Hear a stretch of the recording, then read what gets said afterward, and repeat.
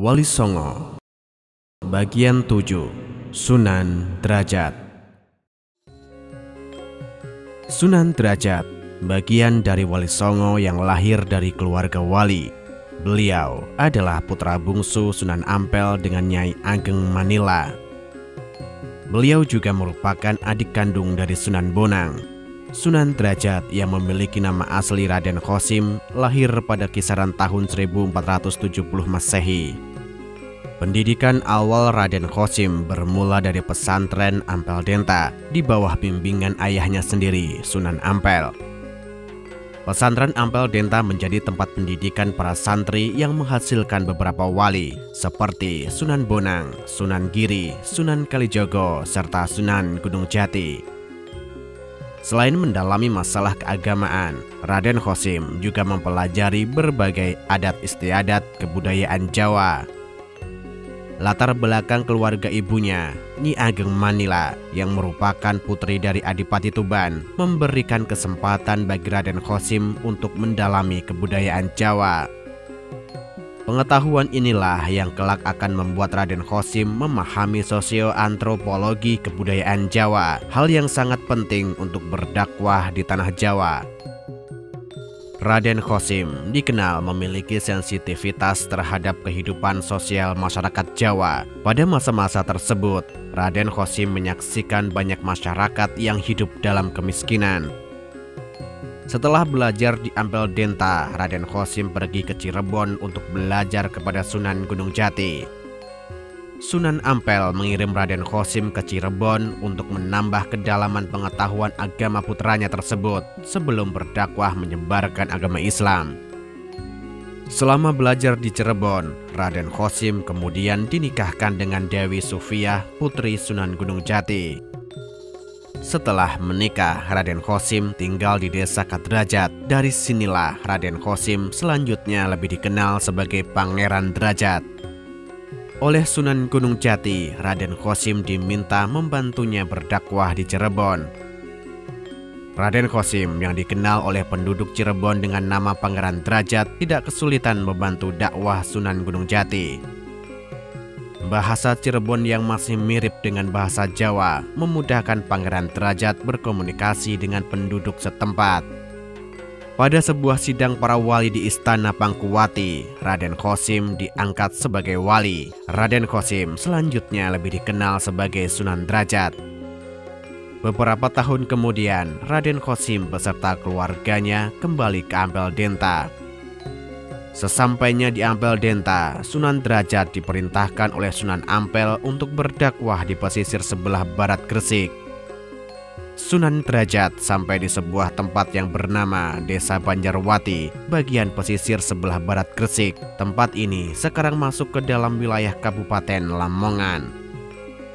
Di desa tersebut, kehadiran Sunan Derajat disambut baik oleh Ki Mayang Madu dan Mbah Banjar, dua orang sesepuh kampung.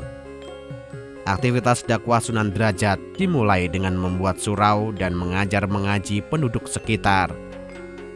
Sunan Derajat berinteraksi sangat dekat dengan penduduk desa. Sikap Sunan Derajat ini membuat beliau lebih mudah dalam berdakwah menyebarkan agama Islam.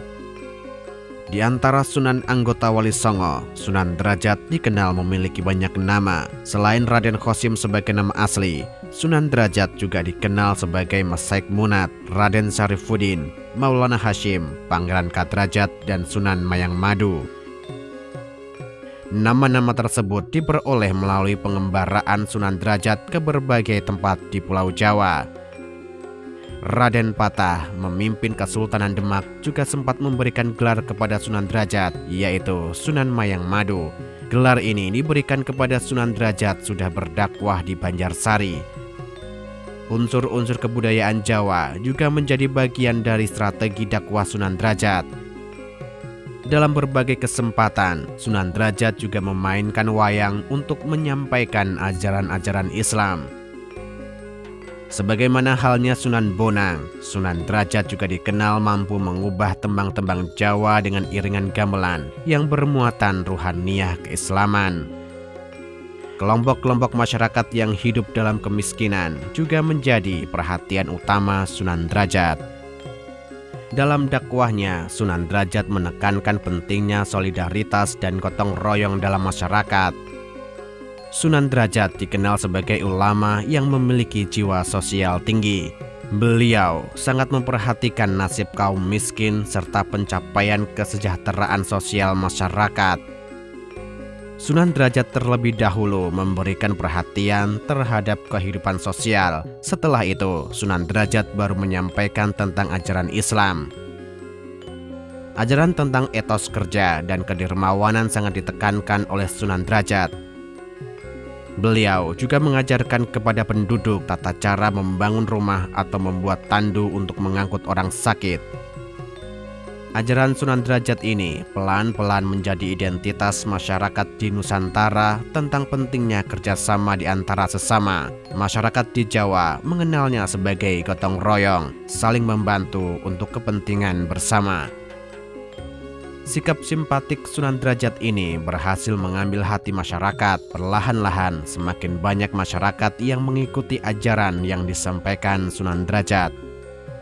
Dalam penyampaian ajaran Islam, Sunan Derajat membuat sebuah falsafah yang dikenal sebagai Pepali Pitu atau tujuh ajaran dasar.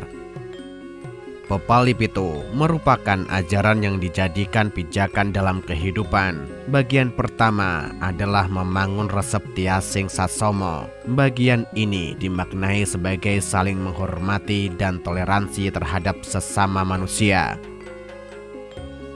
Bagian kedua, Jroning Suko Kutu Eling lan Waspodo. Makna dari kalimat ini adalah seseorang harus tetap waspada dan ingat kepada Tuhan. Meskipun memperoleh kebahagiaan atau memperoleh pencapaian lebih, manusia tidak boleh terlena dan harus tetap mengingat Tuhan.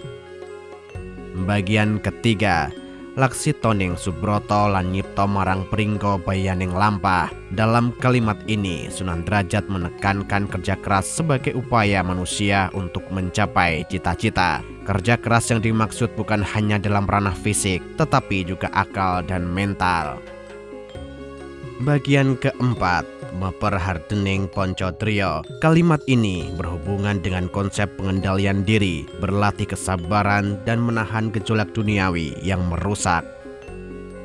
Bagian kelima, Heneng, Hening, Henong, yang artinya adalah dalam keheningan akan dicapai jalan kemuliaan. Hal ini merupakan konsep perjalanan manusia untuk berproses menuju kemuliaan yang hakiki.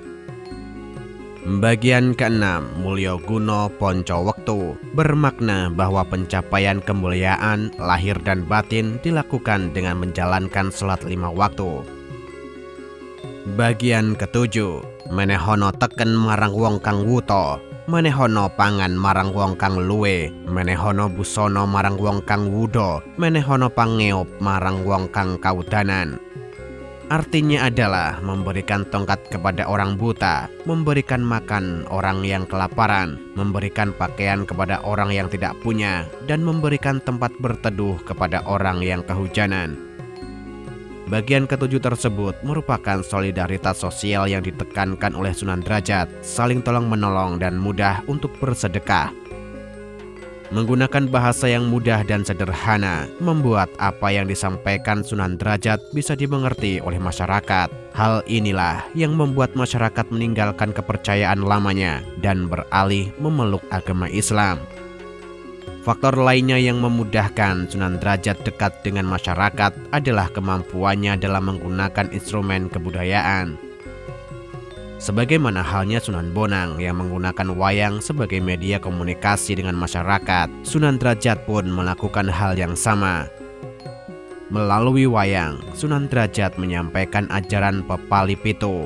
Masyarakat yang ketika itu menggemari wayang mampu menerima dengan mudah apa yang disampaikan Sunan Derajat.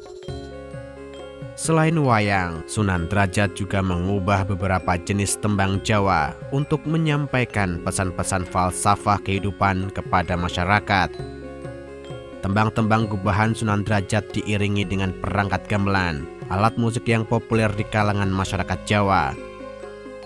Perangkat gamelan yang digunakan Sunan Derajat dikenal dengan nama Singo Mengkok. Perangkat gamelan ini masih bisa ditemukan pada Museum Sunan Derajat yang terletak di Lamongan.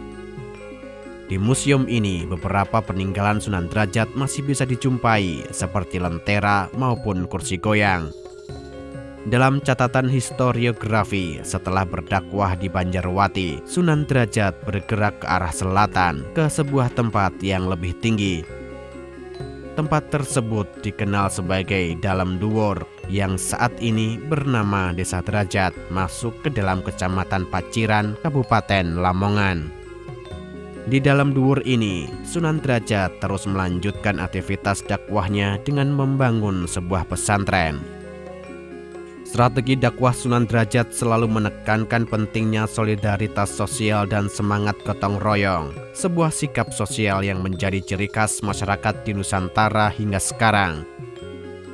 Pada kisaran tahun 1522 Masehi, Sunan Derajat tutup usia. Beliau dimakamkan di dalam duur yang sekarang dikenal sebagai Desa Derajat, Kecamatan Paciran, Kabupaten Lamongan.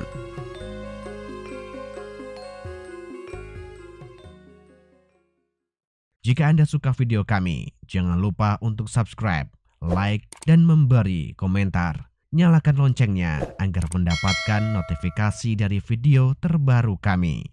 Terima kasih.